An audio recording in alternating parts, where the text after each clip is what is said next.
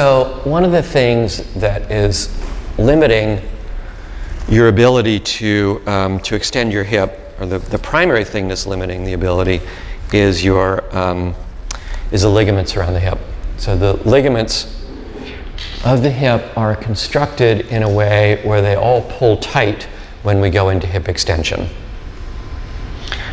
Um, and they all loosen up when we go into hip flexion. So, um, so the reason why um, the bones are kind of squeezed together so tightly in hip extension has to do with the structure of the, the ligaments that hold those bones together. Where's my thing? Here we go. Okay, so let me see if I can, I'm going to see if I can put these ligaments on the skeleton.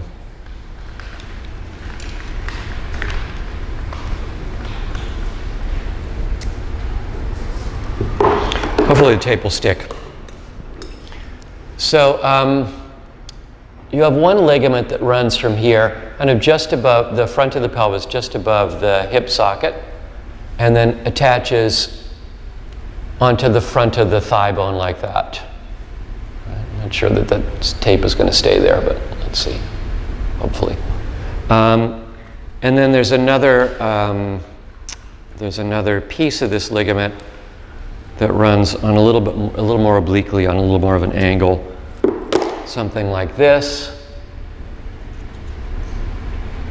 like that. It's actually not quite that long.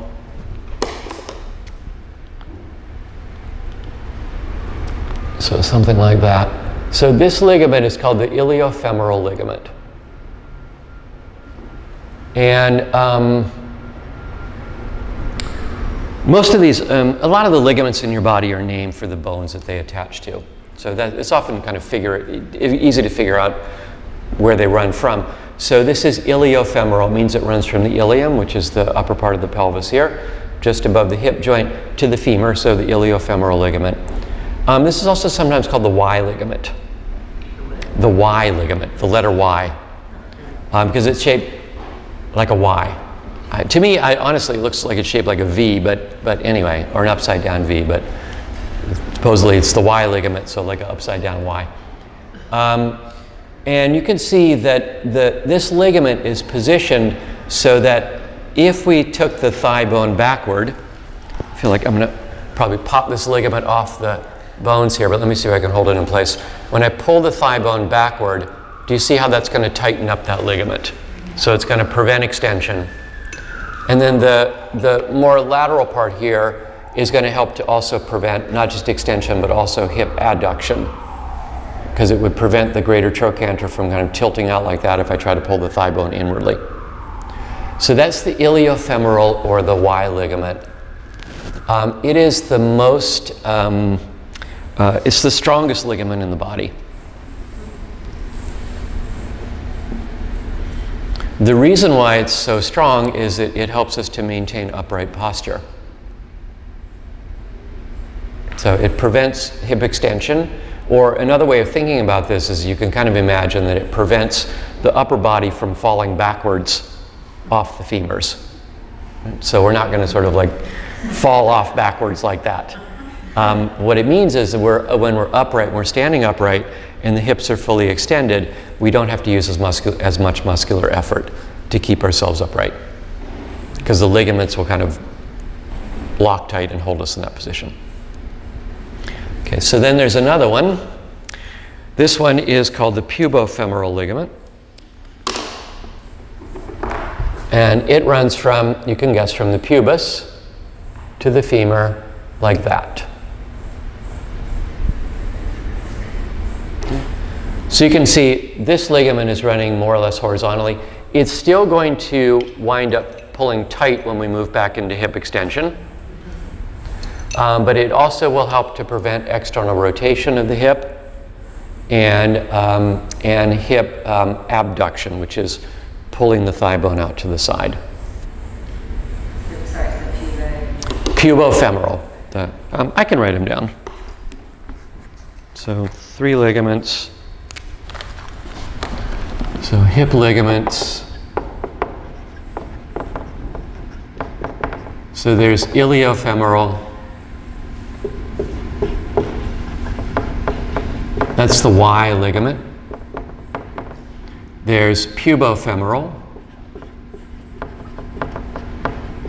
And then the last one is called the ischiofemoral. So you remember we have the, the different parts of the pelvic bones, right? The upper part is the ilium, the front part is the pubis, the part that's in the back and in the bottom is the ischium. Um, and when we were children, those were, those were separate bones, and then by the time we get to be adults, they all fuse together to form a, a single bone, one on the right side, and one on the right side and one on the left side.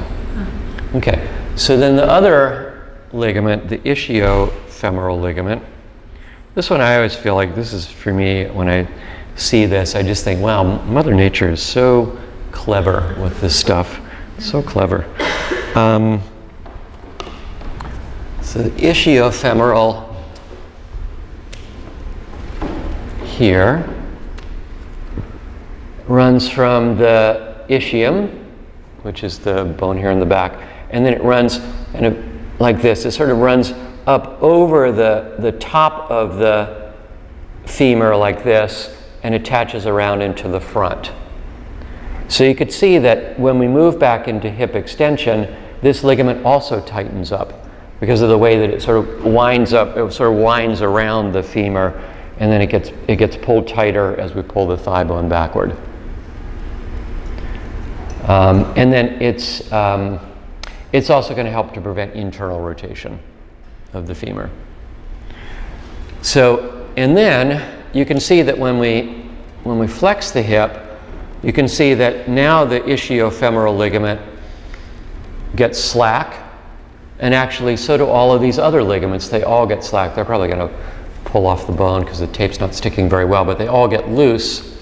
And then when we go back into hip extension, then they all tighten up together and because they all tighten up, they wind the head of the femur really tightly into the hip socket. They lock it in place. So, um, so those ligaments um, all work to prevent hip extension, uh, or to limit hip extension, we should say. Um, which is why you don't have nearly as much hip extension as you have hip flexion.